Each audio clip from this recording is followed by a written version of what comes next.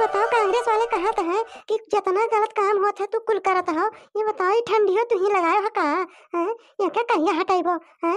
ये क्या हटाई देतो हमें लड़की चाँद मने बन ढंग के घूम नहीं पाई तो है। बताओ कैसे कोई हैं हैं, ये बताओ। मित्रों क्या आपको लगता है कि राहुल गांधी और कांग्रेस वाले जो कहते हैं वो सही कहते हैं?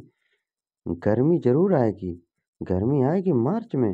और सबसे बड़ी बात यह है कि राहुल गांधी जब अपनी भारत जोड़ो यात्रा खत्म करेंगे, उसी दिन से गर्मी चालू हो जाएगी।